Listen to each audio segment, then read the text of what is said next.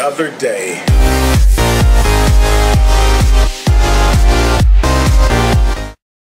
Hallo YouTube und herzlich willkommen bei eurem Schnacker und ich spiele gerade die Battlefield, ähm, na, die, die Star Wars Battlefront Beta auf der Xbox One und ich bin vollkommen überzeugt von diesem Spiel. Diese Beta hat mich einfach überzeugt. Die Grafik ist sehr, sehr schön, also da haben die Trailer nicht gelogen. Das Gameplay ist wirklich sehr fantastisch, die Waffen, alles ganze Zubehör ist wirklich grandios. Ich spiele gerade den Modus Drop Zone, ist so eine Mischung aus Team Deathmatch und Eroberung, wenn man es ein bisschen mit Battlefield vergleicht. Macht auf jeden Fall sehr, sehr viel Bock spiele ich sehr, sehr gerne. Also ich habe die Beta schon ein paar Stunden durchgezockt. Macht auf jeden Fall richtig Bock.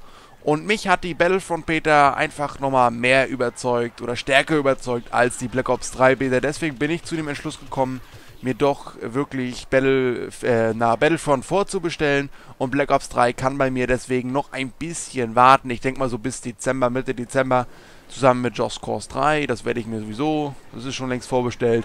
Und ja, auf jeden Fall, ladet euch noch die Beta herunter, wenn ihr es noch nicht getan habt. Es wird sich auf jeden Fall lohnen. Soweit so gut. Ich sage Servus und Tschüss, bis dann. Euer Schnacke.